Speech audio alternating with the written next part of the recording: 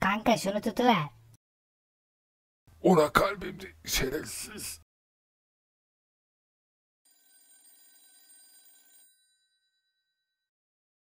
Alo. 7 gün içinde öleceksin. Şu an işim var. 5 dakika sonra ara.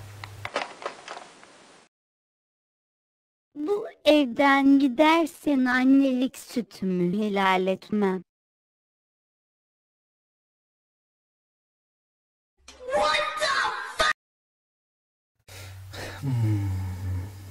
Ne yapalım? Bu benim elim değil. Tekelli edeyim dedim kardeşim.